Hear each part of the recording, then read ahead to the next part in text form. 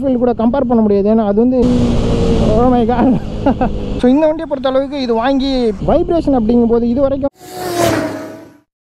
வணக்கம் நண்பர்களே. இன்றைக்கி வந்து பார்த்தீங்கன்னா நம்ம இந்த வீடியோவில் பார்க்க போகிறது இந்த பைக்கை பற்றி தான். Yes Jawa three hundred classic so இது வந்து பார்த்தீங்கன்னா கிளாசிக் அப்படின்னு சொல்ல முடியாது. இவங்க வந்து ஜாவா த்ரீ ஹண்ட்ரட் அப்படின்னு தான் சொல்கிறாங்க பட் எனிவே இது கிளாசிக் மாடல் இருக்கிறதுனால நான் கிளாசிக் த்ரீ ஹண்ட்ரட் அப்படின்னே சொல்கிறேன் ஏன்னா இன்னொன்று இருக்குது ஜாவா ஃபார்ட்டி டூ அப்படின்னு இன்னொரு மாடல் இருக்குது ஸோ அதுக்கு இதுக்கு என்ன டிஃப்ரென்ஸ் அப்படிங்கிறத நம்ம இன்னொரு வீடியோவில் பார்க்கலாம். அண்ட் இன்றைக்கி வந்து பார்த்திங்கன்னா இந்த பைக்கை பற்றின ஒரு டீட்டெயில் ரிவ்யூ தான் நான் கொடுக்க போகிறேன் ஸோ இந்த பைக்கோட ப்ரைஸ் அப்படின்னு பார்க்கும்போது இது வந்து one lakh ninety five thousand வருது. இது வந்து சிங்கிள் ஏபிஎஸ் அதாவது ஃப்ரண்ட் மட்டும் டிஸ்க்கு சிங்கிள் சேனல் ஏபிஎஸ் இதே வந்து டூயல் சேனல் ஏபிஎஸ் இருக்குது பேக்லையும் டிஸ்க்கு அது வந்து பார்த்திங்கன்னா டூ லேக் ஃபைவ் தௌசண்ட் வருது. ஸோ இந்த வண்டியை பொறுத்த அளவுக்கு இது வாங்கி இப்போ ஃபஸ்ட்டு சர்வீஸ் முடிஞ்சிருச்சு.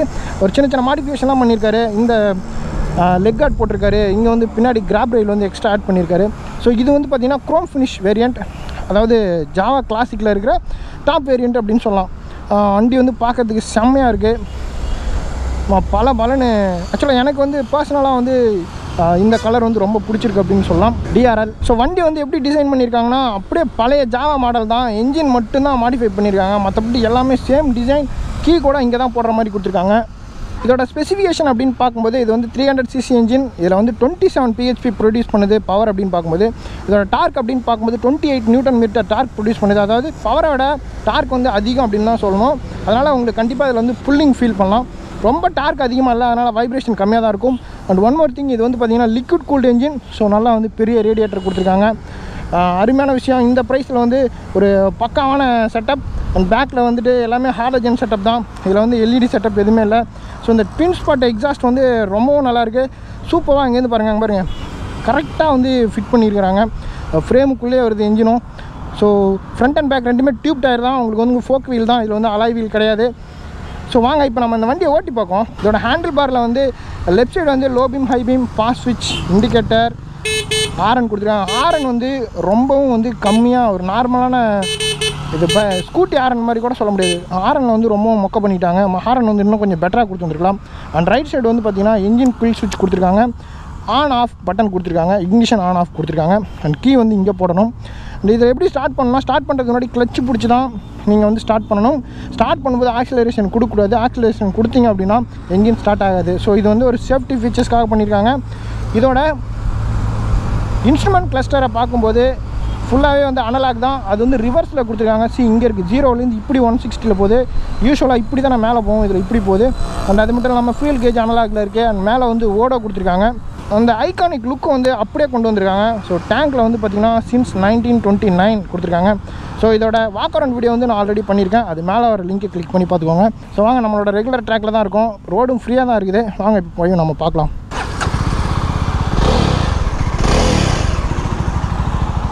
ஸோ என்ஜின் வந்து வேறு லெவலில் இருக்குது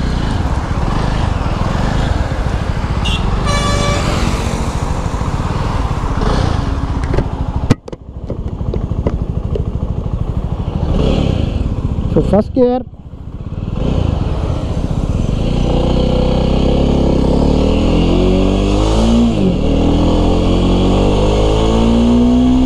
second gear third gear fourth gear oh my so ஆக்சுவலாக வண்டி வந்து பார்த்தீங்கன்னா நல்லாவே ரிஃபைன் பண்ணியிருக்காங்க இன்ஜின் வந்து twenty eight newton metre torque இருக்க இன்ஜின் மாதிரி இல்லை நல்லாவே ரிஃபைன் பண்ணியிருக்காங்க ஈக்குவலான பவரும் கொடுத்துருக்காங்க. வைப்ரேஷன் அப்படிங்கும்போது இது வரைக்கும் வந்து நான் எவ்வளோ போயிருக்கேன்? எயிட்டி வரைக்கும் போயிருக்கேன். ஸோ எயிட்டி வரைக்கும் வந்து ஹேண்டில் பாரில் வைப்ரேஷன் ஃபீல் ஆகலை. அண்ட் ஃபுட் பெக்ஸில் ப்ளஸ் சீட்டில் வந்து அந்த மைனர் பஸ்ஸு ஃபீல் ஆகுது. மற்றபடி அந்த மேஜரான வைப்ரேஷன் அந்த தக் தக் தக் அப்படிங்கிற மாதிரி வைப்ரேஷன் கிடையாது. இது வந்து ஃபுல்லாக வந்து ரிஃபைன் பண்ண இன்ஜின் அது மட்டும் இல்லாமல் பிக்கப் வந்து நல்லாவே இருக்குது என்னென்னா உங்களுக்கு பிக்கப் வேணும் அப்படின்னா நீங்கள் வந்து கீரை டவுன் பண்ணி தான் வந்து த்ரோட்டல் கொடுக்குற மாதிரி இருக்குது. டாப் கியரில் வந்துட்டு லோ ஸ்பீடில் பிக்கப் இல்லை. நைஸ் ஸோ இதில் வந்து நான் ஆர்பிஎம் பார்க்க முடியல. ஆக்சுவல் வந்து ஓட்டுறது வந்து பைக்கு செம்ம கம்ஃபர்டபுளாக இருக்குது நல்லா வந்து அப்ரைட் ஹேண்டில் பார் சீட் வந்து நல்லா ஃப்ளாட்டு ரொம்ப சீட் ஹைட் வந்து ரொம்ப கம்மி. ஸோ நீங்கள் வந்து ஷார்ட்டாக இருக்கிறவங்க ஹைட்டாக இருக்கிறவங்க எல்லாமே ஓட்டுற மாதிரி தான் அந்த பைக்கை டிசைன் பண்ணியிருக்காங்க. ஹைட்டாக இருக்கிறவங்க அப்படின்னா நீங்கள் வந்து பின்னாடி தள்ளி உட்காந்துக்கலாம் அந்த மாதிரி குள்ளமாக இருக்கிறவங்க முன்னாடி தள்ளி உட்காந்துக்கலாம் ரொம்ப சூப்பராக பண்ணியிருக்காங்க. அந்த சீட் வந்து செம்ம கம்ஃபர்டபுளாக இருக்குது ஆக்சுவலாக இந்த சீட்டில் வந்து குஷனிங் இல்லை. பட் உட்காரது வந்து ஃப்ளாட்டாக கம்ஃபர்டபுளாக இருக்குது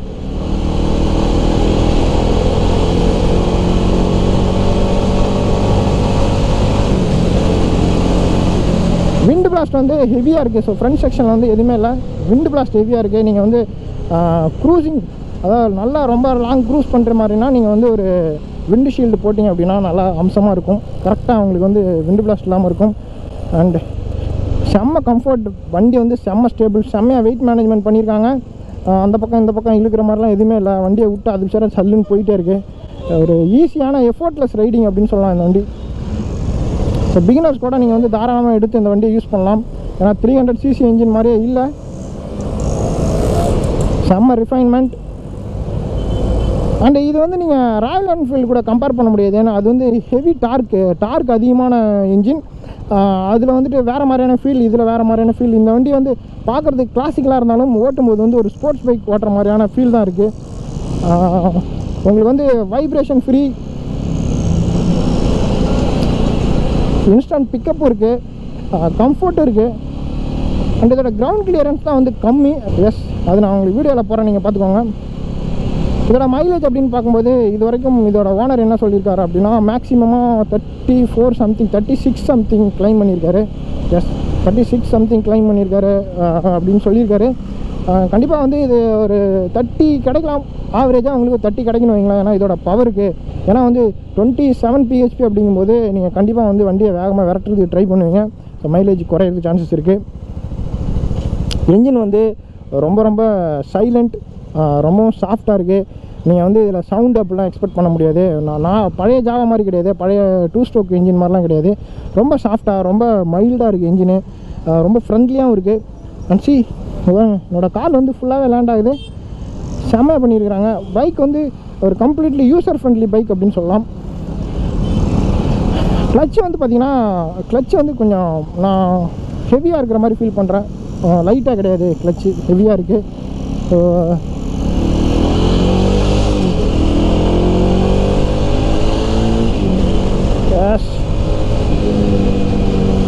ஸோ பைக் வந்து நீங்கள் கட் பண்ணி தாராளமாக ஓட்டலாம். அதெல்லாம் வந்து நீங்கள் அருமையாக பண்ணலாம்.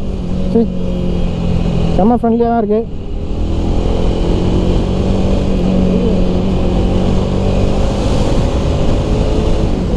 வைப்ரேஷன் வந்துட்டு ரொம்ப ஸ்ட்ரெஸ் பண்ணும்போது ஹேண்டில் பாரில் வைப்ரேஷன் ஃபீல் ஆகுது. அண்ட் கியர் ஷிஃப்டிங் வந்துட்டு அக்யூரேட்டாக இருக்குது கியர் ஷிஃப்டிங்கில் எந்த பிரச்சனையும் இல்லை. பட் சாஃப்ட் அப்படின்னு சொல்ல முடியாது. இப்போ நீங்கள் வந்து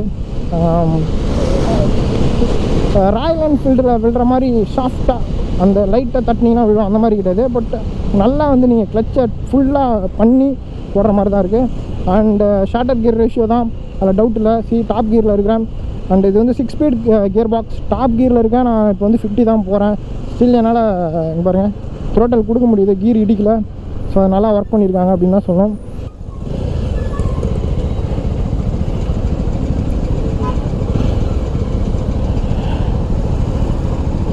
செம்ம comfort ten out of ten கொடுக்கலாம். இந்த கம்ஃபர்ட்டுக்கு வண்டி வந்து செம்ம கம்ஃபர்ட்டாக இருக்குது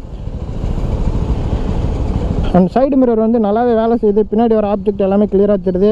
சைடு மிரரில் வைப்ரேஷன் கிடையாது. அது வந்து மிகப்பெரிய அட்வான்டேஜ் ஸோ இந்த மாதிரி கிளாசிக்கல் டிசைன் பைக்கில் எல்லாமே பர்ஃபெக்டாக இருக்குது அப்படின்னு தான் சொல்லணும். இதோட சென்டர் ஸ்டாண்ட் ஆகட்டும் சைடு ஸ்டாண்ட் ஆகட்டும் எல்லாமே வந்து சைலன்சர் கீழே ரொம்ப பர்ஃபெக்டாக கொடுத்துருக்குறாங்க. அண்ட் சஸ்பென்ஷன் செட்டப் அப்படின்னு பார்க்கும்போது சஸ்பென்ஷன் செட்டப் வந்து ஹார்டாக இருக்குது டெஃபினட்டாக ஹார்டாக இருக்குது ஃப்ரண்ட் சஸ்பென்ஷன் கொஞ்சம் சாஃப்டான பேக் வந்து கொஞ்சம் ஹார்டாக தான் கொடுத்துருக்குறாங்க ஸோ நீங்கள் ஆஃப் ரோடு கொண்டு போகணுன்னா கொண்டுட்டு போகலாம். பட் அது நீங்கள் பார்த்துக்கணும் அந்த வண்டியோட கிரவுண்ட் கிளியரன்ஸ் கம்மி அப்படிங்கிறனால நீங்கள் ஆஃப் ரோடு கொண்டு போகிறது கொஞ்சம் டஃப் தான். பட் ஸ்டீல் உங்களால் ரிஸ்க் எடுக்கிற முடியும்னா ரிஸ்க் எடுக்கலாம். வண்டி கம்ஃபர்ட் அந்த அளவுக்கு இருக்குது பட் இது வந்து ஹைவே டூரிங்க்கு வந்து பைக் வந்து ஹண்ட்ரட் பர்சன்ட் யூஸ் பண்ணலாம். ஸோ அந்த மாதிரியான செட்டப் தான். எவ்வளோ தூரம் ஆனாலும் நீங்கள் க்ரூஸ் பண்ணிட்டே போகலாம். நல்ல காலை வந்து இப்படி அகட்டி வச்சுக்கிட்டு அருமையாக பாருங்க. ஒய்டராக வச்சுக்கலாம் கம்ஃபர்டபுளாக ஈவன் இன்னும் வந்து அந்த என்ஜின் காலில் வந்து கால் வைக்கிற மாதிரி ஒரு சின்னதாக செட்டப் பண்ணிட்டீங்க அப்படின்னா காலை இன்னும் கொஞ்சம் கூட இப்படி கம்ஃபர்டபுளாக நீட்டி வச்சுக்கலாம். தண்டர் பேல் வைக்கிறோம்ல அந்த மாதிரியோட வச்சுட்டு போகலாம். ஸோ அது நம்மளோட கஸ்டமைசேஷனில் தான் இருக்குது டேர்னிங் ரேடியஸ் வந்துட்டு ரொம்பவும் கம்மி. ஸோ டேர்ன் பண்ணுறது வந்து ஒன்றும் பிரச்சனை இல்லை. நீங்கள் வந்து ஈஸியாக கட் பண்ணி போகிற மாதிரி தான் இருக்குது டேர்னிங் ரேடியஸ் வந்துட்டு ரொம்ப கம்மி தான். பர்ஃபெக்டான வண்டி. பேக் பிரேக் வந்துட்டு ட்ரம் பிரேக் வந்து அவ்வளோவா இல்லை. என்ன சொல்கிறது பிரேக்கிங் பவர் இல்லை. நீங்கள் போகிற மாதிரினா அவங்க டூயல் சேனல் ஏபிஎஸ் போங்க அது இன்னும் நல்லாயிருக்கும் அந்த கிளாசிக் லுக் வந்து அந்த ஓல்டேஜ் லுக் வந்து பக்காவாக கொண்டுட்டு வந்துட்டாங்க. ஆக்சுவலாக இந்த ப்ரைஸ் பாயிண்ட்டுக்கு இந்த பவர் இந்த மைலேஜ் அப்படிங்கும்போது ஒரு நல்ல டிசிஷன் இந்த வண்டி நீங்கள் எடுக்கணும் அப்படின்னு சொன்னால் தாராளமாக எடுங்க. அதில் எந்த சந்தேகமும் கிடையாது. நான் வந்து செம்ம என்ஜாய் பண்ணேன் அந்த பைக்கை ஸோ ஒரு பர்ஃபெக்ட் டிசைன் அப்படின்னு சொல்லலாம். இந்த இதோட பெயிண்ட் ஸ்கீம் வந்து பார்த்திங்கன்னா செம்ம குவாலிட்டியாக கொடுத்துருக்காங்க.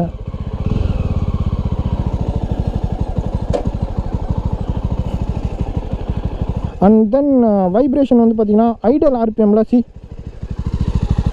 வர ஐடல் ஆர்பிஎம்மில் அந்த வைப்ரேஷன் லைட்டாக ஃபீல் ஆகுது. அதே வந்து நீங்கள் கொஞ்சம் க்ரூஸ் பண்ணிட்டீங்க அப்படின்னு சொன்னால் இந்த வைப்ரேஷன் நீங்கள் ஃபீல் பண்ண மாட்டீங்க. தெரியுதுங்களா? அந்த மட்கார்டு இந்த ஸ்டாண்டில் பட் வண்டியில் ஏறி உட்காந்து க்ரூஸ் பண்ணும்போது இந்த மாதிரி வைப்ரேஷன் ஆகலை வண்டி வந்து சும்மா பக்காவாக இருக்குது செம்ம சாஃப்டாக இருக்குது அந்த ப்ராக்டிகாலிட்டி அப்படின்னு பார்க்கும்போது வண்டி வந்து சூப்பராக டிசைன் பண்ணியிருக்காங்க. சாரி கார்டு கொடுத்துருக்காங்க. உங்களுக்கு ஃபுட் பெக்ஸ்லாம் நல்லா பெருசாகவே இருக்குது என்னென்னா சீட் தான். சீட்டோட லென்த் வந்து பார்த்திங்கன்னா ரொம்ப கம்மி. ஸோ ஹைட்டாக இருக்கிறவங்க இப்போ நான் உட்காந்தனா நான் இங்கேருந்து இங்கே உட்காறேன் ஸோ பேக் மாட்டேன்னா கரெக்டாக இங்கே உட்காரும் டபுள்ஸ் உட்காந்துட்டு போகிறது கொஞ்சம் கஷ்டம் தான். சீட்டு மட்டும் கொஞ்சம் பெருசு பண்ணியிருந்தாங்கன்னா இன்னும் நல்லா இருந்திருக்கும். ஸோ ஜாவா ஃபார்ட்டி டூலையும் இதே பிரச்சனை தான். ஜாவா ஃபார்ட்டி டூ கிளாசிக் ரெண்டுலேயுமே ஒரே சீட்டு தான். ஸோ கம்ஃபர்ட் வந்து பார்த்தீங்கன்னா சிங்கிள் ரைடர் ஆக்சுவலாக இது கேட்கும்போது அவங்க என்ன சொல்கிறாங்கன்னா இது வந்து சிங்கிள் ரைடருக்கு தான் நாங்கள் டிசைன் பண்ணோம். டபுள்ஸ் போகிறதுக்கு டிசைன் பண்ணல அப்படிங்கிறாங்க. Uh, மேபி அவங்களோட டிசைன் கான்செப்ட் அதுவாக இருக்கலாம். பட் நீங்கள் வேணும் அப்படின்னா டபுள்ஸ் போகணுன்னா ஆல்டர் பண்ணிக்கோங்க. மற்றபடி பைக் வந்து பிரித்து மேயுது அப்படின்னு தான் சொல்லணும். சூப்பரான வேலை பண்ணியிருக்காங்க ஜாவா. ஸோ நெக்ஸ்ட் வந்து பார்த்திங்கன்னா நான் தேடிட்டு இருக்கேன் ஆக்சுவலாக என்ன வந்து குறை கண்டுபிடிக்கலாம் அப்படின்னு. அந்த மாதிரியான வண்டி டிசைன் ஒரு சூப்பரான பண்ணியிருக்காங்க ஸோ இதான் எக்ஸாஸ்ட் நோட்